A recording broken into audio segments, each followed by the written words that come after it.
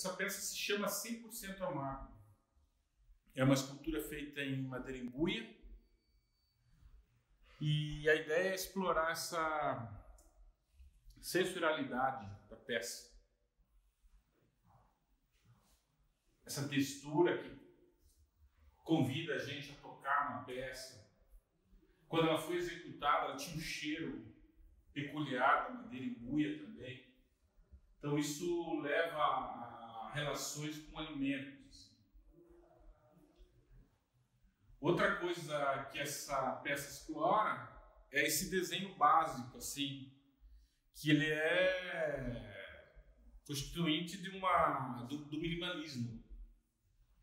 Por isso que a série, onde ela está encerrada, fechada, se chama Minimal Dream